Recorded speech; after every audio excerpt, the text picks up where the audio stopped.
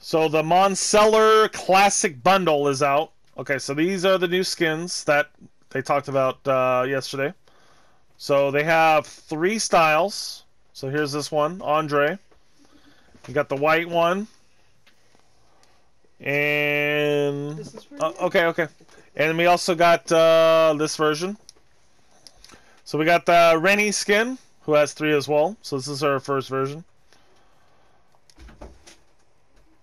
And okay, let me know which one you guys like, and also get a loading screen, which I'm trying to see.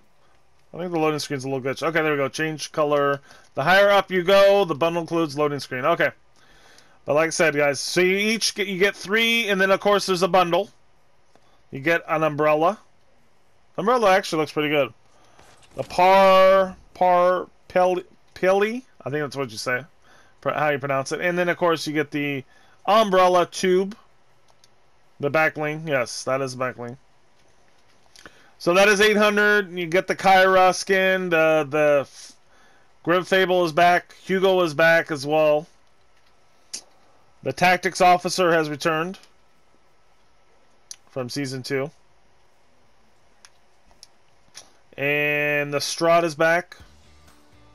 Which I don't own. Actually, I don't own. Also, the Mellow Days. I don't own that either. Hey, there's a couple of things I don't own. The Victor Elite, the Naruto skins, Ghostbusters, of course, and the Lars pack as well as the other packs. But make sure you guys slap in that code Outsider, guys. Let me know what you guys think in the comments, what you guys think of the skins. And uh, make sure you guys slap in that code Outsider. Drop a like on the video. Make sure you guys subscribe. And uh, like I said, let's try to get 25 likes on the video that I'm going to be posting. And also leave a comment on the video. Everybody who leaves a comment on the video that I post after the stream, I, eh, they all get a special shout out, okay? So, thank you guys. GG's to everybody.